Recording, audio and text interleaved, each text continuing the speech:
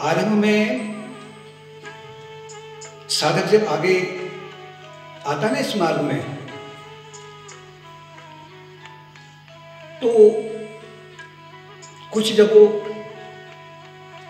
वो सुन लेता है, कुछ पुस्तकों को पढ़ लेता है, और कुछ ऐसे पुस्तकों को वो पढ़ता है कि जहाँ वो चमत्कार चाहता है, और उससे बड़ा वो एक इंस्पायर हो जाता है कि इस इस तरीके से योगी लोग कुछ चमत्कार करते हैं।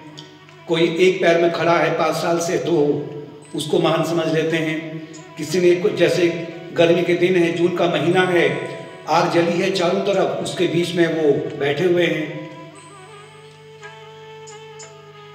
इसको वो महान तपस्या मान लेते हैं।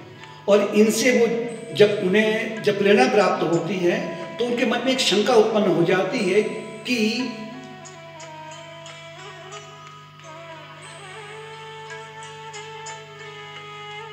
हमें कोई भगवत प्राप्ति करा देगा। मतलब हमें कुछ नहीं करना पड़ेगा। अपने तरफ़ से प्रयत्न नहीं करना पड़ेगा। और ये अनेक लोगों के मन की शंका होती है और ये फिर बहुत से लोगों को उस ओर वो लोग औरों को भी भटकाने में लगे रहते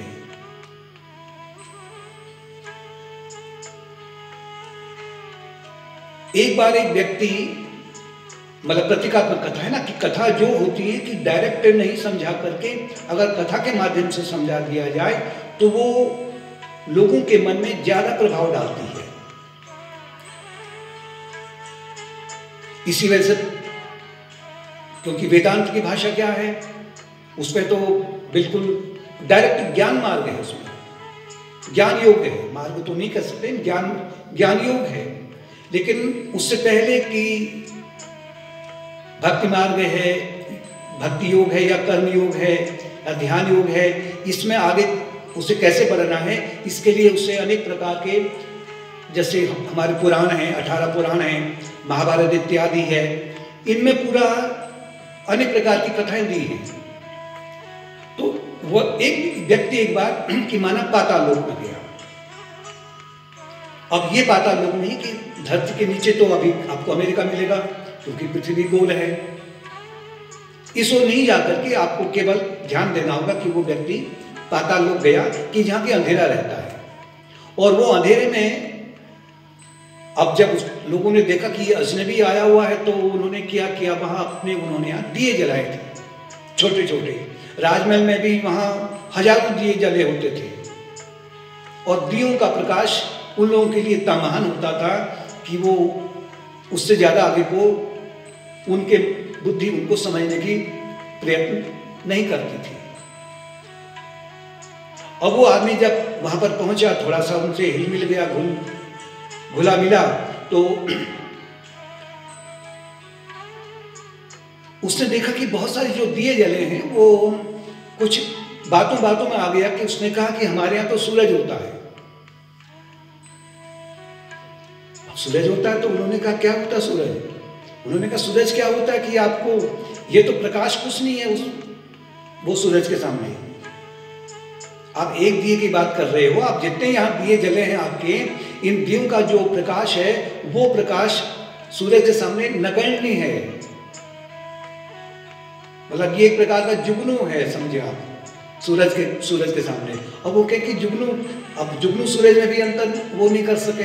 तो बहुत उन्होंने तर्क किया, वितर्क किया, और थोड़ा सा कभी किसी को गुस्सा भी आया कि आप हमारी हमारी बेइज्जती कर रहे हैं, बदनाम कर रहे हैं हमें आप। उन्होंने कहा इसमें बदनाम करने वाली बात नहीं है। मैं आपको तो एक आभास करा रहा हूँ कि जो सूरज है, उस, उसके सामने सब प्रकाश फीका पड़ जाता है। उन्होंने कहा कितना बड़ा होता है उसका प्रकाश? जो उनके हज़ारों दिए थे उन्होंने एकत्र किया और उसमें जो प्रकाश मिल, उनको मिला तो आज तक उन्होंने कभी देखा नहीं। तो उन्हें बड़ी हैरानी हुई इतना बड़ा प्रकाश है तो इससे बड़ा सूरज क्या हो पाएगा?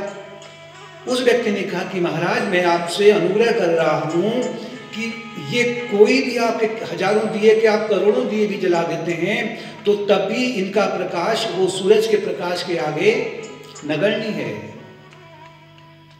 माना करो मेरी बात को आप। एक मैत्री भाव से रख करके, विनम्र भाव से रह करके करुणा भाव से उनको समझाया। जब तो उसमें जो उनका एक मुखिया था, अब राजा कह सकते हैं उसको। अब वो राजा ने कहा कि मैं आपके सूरज को देखना चाहता हूँ।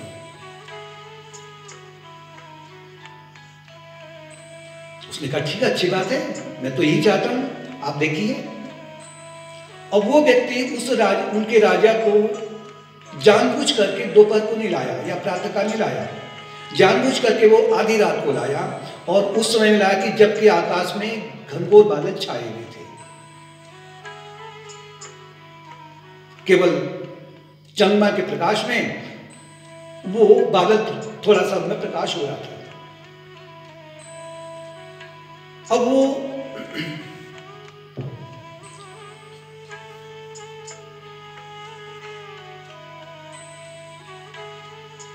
जैसे यहाँ आया तो उसे बड़ी हैरानी हुई कि ये तो प्रकाश है इस कमला में हमारे दी तो कुछ नहीं इसके आगे। पूरा अनंत ब्रह्मांड में इसने उजाला किया हुआ है कि महाराज, यही सूरज है, उन्होंने कहा, नहीं, अभी तो मैं आपको जानबूझ के यहाँ पर लाया हूँ, इस इस स्थिति में लाया हूँ। अब आप इसके बाद में धीरे धीरे आप धैर्यपूर्वक, आप प्रतीक्षा कीजिए। मन में श्रद्धा रखिए कि अभी तो और है बहुत कुछ है। सिद्धा श्रद्धापूर्वक, धैर्यपूर्वक आप प्रतीक्षा में रहें तो आपको धीरे धीरे ज्ञात होने लगेगा कि सूरज का, सूरज क्या होता है। वो व्यक्ति, क्योंकि उसकी बातों में उसको एक बड़ा आनंद आता था, रस आता था और एक श्रद्धा उत्पन्न हुई थी। तो धीरे धीरे क्या हुआ कि प्रातःकाल होने लगी। जैसे प्रातःकाल होने लगी तो वो जो बादल आकाश में थे, वो रंगीन हो गए, प्रकाशित हो गए। तो उन्होंने कहा अच्छा ये सूरज है। जो ये बात, जो ये चमक रहे हैं नहीं उन्होंने कहा कि ये तो उसका प्रकाश है भी। उसके प्रकाश में चमक रहे हैं ये।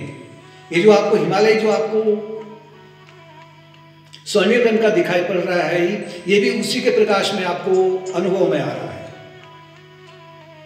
और धीरे धीरे जैसे पूरा दिशा से लालिमा छाई तो चारों ओर एक प्रकार का एक अद्भुत प्रकाश उत्पन्न हुआ।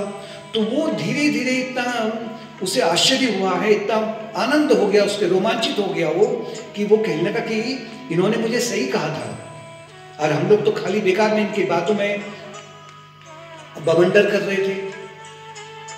तो जैसे ही सूरज प्रातः काल का सूरज जैसे उगा तो उसने कहा कि अब देखिए सामने। ये सूरज। अब क्योंकि जिसने पहले कभी नहीं देखा होगा तो उसकी स्थिति क्या हो सकती है? ये आप अनुभव करें। उस, उन्होंने कहा कि जो कुछ भी आपको इस ब्रह्मांड में, आप इस पृथ्वी में जो कुछ भी प्रकाशित, प्रकाश में दिख रहा है, वो सब सूरज का ही प्रकाश है, अर्थात सूरज ही है। हिमालय चमक रहा है, सूरज के कारण में। ऊपर बादल चमक रहे हैं, सूरज के कारण में। नदियों का जल चमक रहा है, वो भी सूरज के प्रकाश में। ओस की बूंदें प्रकाशित हो रही हैं, वो भी सूरज के प्रकाश में। इंद्रधनुष आकाश में बना हुआ है, वो भी सूरज के प्रकाश में। बादलों में अनेक प्रकार का रंग भरा हुआ है, कोई घने हैं, कोई सफ़ेद हैं, कोई कोई सुनहरे हैं, वो भी सूरज के प्रकाश में। मैं आपको देख रहा हूँ, वो भी सूरज के प्रकाश में। आप मुझे देख रहे हैं, सूरज के प्रकाश में। अगर कहूँ तो किस कण कण में सूरज का प्रकाश व्याप्त है या नहीं है, बताइए आप। उसने कहा कि हाथ कंगन को हाथ से क्या ये तो मुझे स्पष्ट दिखाई पड़ रहा है। बड़ा प्रफुल्लित हो गया आनंद हो गया उसे आ गया अब वो व्यक्ति अब उसने आज्ञा मांगी कि मैं जा, अब मैं जाऊँ अब आपके यहाँ क्योंकि आपने मुझे एक महान दर्शन करा दिए हैं तो मैं अब अपने पाताल लोक में जाने की मुझे मुझे आज्ञा दीजिए व्यक्ति अब वो राजा अपने पाताल लोक में चले गया। जैसे वहाँ गया तो उसका तो हृदय उमंग से भरा था। भावनाएँ उसकी जो रोमांचित हो रही थी। उन्होंने देखा कि ये जो व्यक्ति, जो हमारा राजा आता इतना प्रसन्न कभी नहीं देखा। इसके हाव भाव बता रहे हैं। इसकी जो मतलब अंग अंग से जैसे कि आनंद छलक रहा है इसके आँखें आँखों में एक अद्भुत प्रकाश का एक प्रेम झलक रहा है। तो उन्होंने सब कुछ सबने खेल लिया कि महाराज बताइए कि सूरज कैसा होता है उन्होंने कहा मैंने तो देख लिया है। अब मैंने देख लिया है तो आप मैं आपको अपनी बुद्धि से उसका थोड़ा आपको वर्णन कर तो, तो मैं कर सकता हूँ। जैसे कि वो हमारे यहाँ आए थे, उन्होंने अपनी बुद्धि से वर्णन किया, लेकिन हमने उसको, उसका अनुभव हम नहीं कर पाए थे। इसी प्रकार से मैं अब आपको, क्योंकि आप मेरी भाषा को जानते हैं तो मैं आपको अपनी बुद्धि से उसका वर्णन, उसको मतलब उसका व्याख्या मैं कर सकता हूँ, वाणी से मैं उसका वर्णन कर सकता हूँ। सीमा तक मतलब पूरा नहीं जितनी मेरी बुद्धि लिमिटेड है इंद्रियों से या हाथ पैर के जो मेरे अंग हैं, इनसे मैं उनके हाव भाव को बता तो सकता हूँ, लेकिन जो सूरज, वास्तविक जो सूरज है, वो जो भी मैं आपको वर्णन कर रहा हूँ, उससे सब परे है। तो फिर क्या होगा, बताइए आप आप दिखाइए हमें। उन्होंने कहा कि नहीं, दिखाने वाली बात नहीं है। जैसे उन्होंने मुझे मार्ग बताया, मैंने उनके मार्ग में तद्विधि प्रणीपातेनो परिप्रश्न सेवया। मैंने उनमें श्रद्धा रखी, विश्वास रखा, उनका आदर किया और धैर्य रखा। और जो उन्होंने मुझे मार्ग बताया, उसी मार्ग को मैंने उनका अनुकरण किया। इसी तरीके से जब तक आप जो मैंने किया है, जब तक आप नहीं करेंगे तो मैं आपको सूरज के दर्शन नहीं करा सकता। हाँ मैंने उक्ति आपको बता दी है। प्रेरणा मैंने आपको दे दी है। इसी प्रकार से कथा यह समझा रही है, पाताल लोक का तात्पर्य है जहाँ अंधकार है, वो एक प्रकार का अज्ञान का अंधकार है। सामान्यतः व्यक्ति संसार में जो उजाला है ना, आपका सूरज का उजाला, जो भौतिक उजाला है, भौतिक प्रकाश है या और जो है, ये एक प्रकार का अंधकार ही है। इसे कहते हैं अज्ञान का अंधकार। इस अज्ञान के अंधकार में व्यक्ति केवल मन के स्तर पर, इंद्रियों के स्तर पर और बुद्धि के स्तर पर ही रहना चाहता है। इससे परे क्या हो रहा है, उसको वो इसमें इसको उसका ध्यान नहीं रहता है। जो इंद्रिया अनुभव में अनुभव कर रही है, वो अल्पम है। मनुष्य की इंद्रियाँ, उसकी आँखें, इंद्रियाँ, आँखें जो हैं, वो वो सीमित हैं। गिद्ध की दृष्टि बहुत दूर होती है। संपाति ने तो देख लिया था कि सागर पार, वहाँ अशोक अशोक वाटिका में सीता जी विद्यमान है। चीटी जो नाम से सुनती है, वो ग्रहण शक्ति मनुष्य में नहीं होती है। पृथ्वी गोल है, व्यक्ति कहता है चपटी है, उसको चपटी दिखाई पड़ती है। अपने आप को स्थिर समझता है, लेकिन पृथ्वी निरंतर 700 किलोमीटर एक सेकंड में घूम रही है सूरज के चारों ओर। रिवॉल्व भी हो रही है, रोटेट भी हो रही है।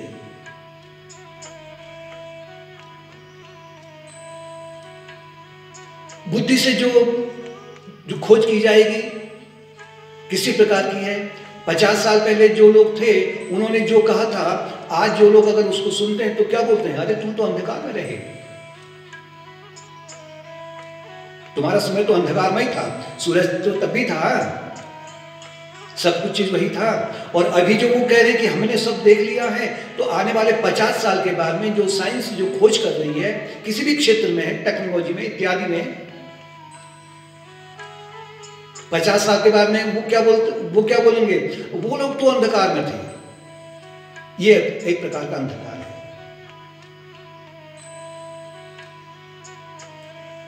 इनके बीच में अगर कोई जो व्यक्ति पाताल लोक में गया, वो है गुरु का प्रतीक, जो तत्वज्ञानी गुरु है, जिसने अपने अनुभव को, अपने अनुभव से उस आत्मस्वरूप को जान लिया है।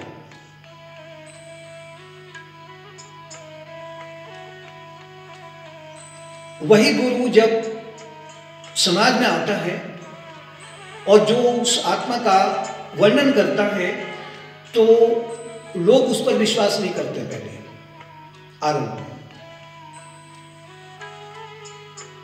लेकिन वो कहते कि तुम जो तुम्हारी ये जो प्रकाश क्या दिए का प्रकाश क्या है? ये आपका बुद्धि का उजाला है।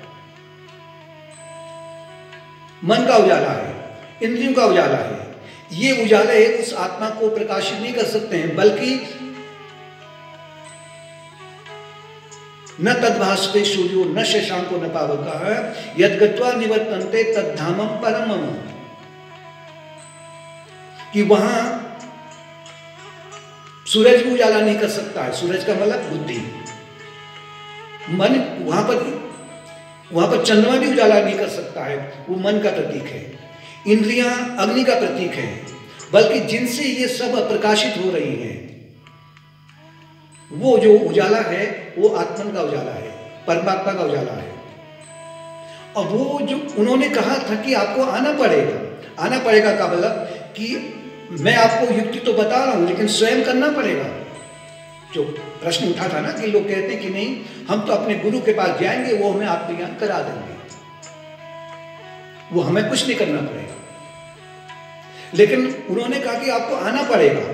तो योग मार्ग में आना पड़ेगा मतलब स्वयं हमें बढ़ाना पड़ेगा। ध्यान का ध्यान का अभ्यास है, ज्ञान का अभ्यास है, भक्ति का अभ्यास है, सेवा का अभ्यास है। और इसके माध्यम से क्या होता है कि व्यक्ति फिर जब अपने गुरु के सानिध्य में जब योग मार्ग का पालन करता है तो वो उसको आधी रात को लाए।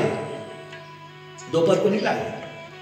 कहने का तात्पर्य है कि सुना, गुरु के शरण में आए तो लोग समझते हैं कि शायद गुरु सर में हाथ रख देगा और कुंडलिनी जो है, मूलाधार चक्र से सीधे सहस्त्रार चक्र में आ गई और बस मुक्ति हो गई। ऐसा नहीं होगा। धीरे धीरे होगा। अगर अचानक कुंडलिनी अगर जागृत हो गई, अगर मूलाधार से उड़ गई ऊपर तो व्यक्ति का जो शरीर है ना, वो बस्ट हो जाएगा, फट जाएगा टुकड़े टुकड़े हो जाएगा। और मैल इतना जमा हुआ है कि वो जो हृदय में जो मैल जमा हुआ है, जो अशुभ संस्कार हैं, वो इतने ज़्यादा घने हैं कि उनकी वो सफ़ाई करने के लिए समय लगेगा। सोने का अगर कोई मूर्ति है तो उसमें लंबे समय से अगर आप कहीं अगर कीचड़ में पड़ा हुआ है या धूल में सना हुआ है तो जल्दी से वो साफ़ नहीं होगा। सोने का बर्तन भी जल्दी से साफ़ नहीं होगा। उसको धीरे धीरे रगड़ना पड़ेगा। और जैसे जैसे वो साफ़ होगा तो वैसे ही उसमें से वो चमक निकलने लग जाएगी। यही तात्पर्य है कि आधी रात को आकर के अब जब योग मार्ग में व्यक्ति आता है तो उससे अनुभव होता है कि जो मेरी, मेरा जो मन है, मेरी बुद्धि है, मेरा जो अहंकार है, इसमें प्रकाश, वो आत्मा का ही मिल रहा है। अर्थात धीरे धीरे उसका जो तमोगुण है, आधी रात जो है, वो तमोगुण का प्रतीक है। तमोगुण में धीरे धीरे वो सत्य गुण में आएगा। जैसे जैसे उजाला होगा, प्रातकाल होगी। रजोगुण से भी वो सत्गुण में आएगा। सत्गुण में आएगा तो बादल जो घना दिखाई पड़ रहा था आधी रात को, वो बादल प्रातकाल क्या हो जाएगा? स्वर्णिम हो जाएगा या ट्रांसपेरेंट हो जाएगा या उड़ जाएगा। अर्थात उसे अभ्यास करना पड़ेगा। जैसे जैसे व्यक्ति अभ्यास करेगा मतलब अपने मल और विक्षेप और आवरण को हटाने के लिए, मल को हटाने के लिए जो स्थूल मल है, काम, क्रोध, लोभ, मोह इत्यादि है इसको हटाने के लिए जैसे जैसे वो वो सेवा मार्ग को पकड़ेगा, भक्ति मार्ग को पकड़ेगा तो उसके जैसे जैसे मल हटते हटते जाएँगे तो यही प्रतीक है कि वो आधी रात को आया है तो प्रतीक्षा कर रहा है और सेवारत है तो धीरे धीरे प्रातःकाल तो होगी होगी। उसे अपना प्रयत्न करना है, उसे धैर्य रखना है तो वो जो होना है, वो तो स्वाभाविक है। मल जैसे जैसे हटेगा तो उसी के अनुसार में से फिर विक्षेप ही हटने लगेगा। विक्षेप का तात्पर्य है कि जो मन निरंतर चंचल है, कुव्यवस्थित है तो अब वो जब मैल हटेगा तो वासनाएँ भी अब धीरे धीरे वो कम होने लग जाएँगी। वासनाएँ कम हो जाएँगी तो अज्ञान का आवरण भी हट जाएगा। अज्ञान का आवरण हटेगा तो अब क्या दिखेगा आपको? आपको दिखेगा कि जो ऊपर जो सबसे टॉप में बादल है या जो हिमालय का पर्वत है, वो जो प्रकाशित हो रहा है तो आपको ये ज्ञात होने लगेगा कि जो हिमालय में, हिमालय या जो बादल जो प्रकाशित हो रहा है, अर्थात जो ज्ञान शक्ति आपको प्राप्त हो रही है, विचार शक्ति में जो आपका प्रकाश हो रहा है, उन्नत विचार जो निकल रहे हैं, उनके पीछे कौन है? सूरज है। उनके पीछे कौन है? परमात्मा है। परमात्मा है नीचे आ जाइए इंद्रधनुष मिलेगा आपको। अर्थात मन का प्रतीक है। मन पर किसका प्रकाश पड़ रहा है? मन अनेक प्रकार की संवेदनाओं में आ रहा है। अनेक प्रकार की भावनाएँ उत्पन्न हो रही हैं। शुभ भावनाएँ हैं। उमंग उठ रही मन में।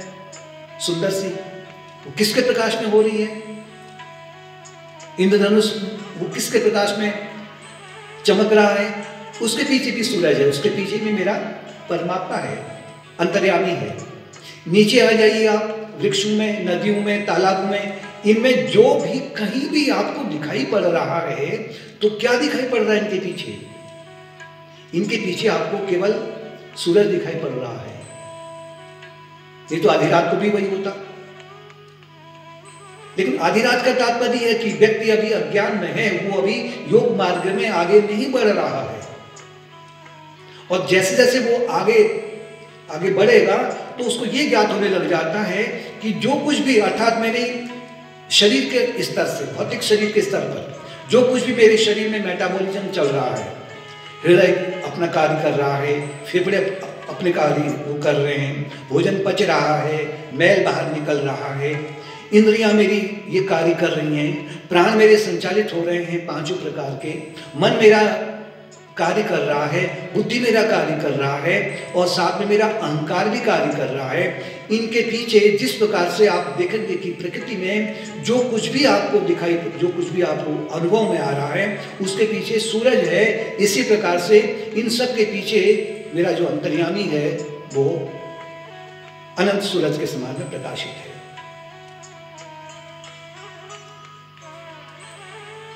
और ये भ्रांति ये तभी मिटेगी जब वो वो कहना मानेगा। अतः हमें केवल जो ये गुरु हैं, अर्थात जो आपके गाने सुनते हैं, ये आपको आपको प्रेरणा दे सकते हैं। आपकी भावनाओं को उन्नत कर सकते हैं। उदाहरण देकर करके, या जो कथाएँ इत्यादि हैं, वो आपको अनेक प्रकार की प्रेरणा देते हैं। लेकिन वो प्रेरणा से आपको स्वयं अपना अभ्यास स्वयं करना पड़ेगा। अगर आपका अभ्यास चल रहा है तो छोटा भी सभी अगर आपका अभ्यास चल रहा है ना तो वो अभ्यास आपका क्या होगा कि जैसे कि आप अब पाता लोक से आप धरती पर आ चुके हैं आधी रात को, अब अभ्यास आपका है, प्रतीक्षा आपकी है, और वो जो आपका अभ्यास जो है, उसके पीछे वो जो अब अनावरण हो रहा है, वो सतह होगा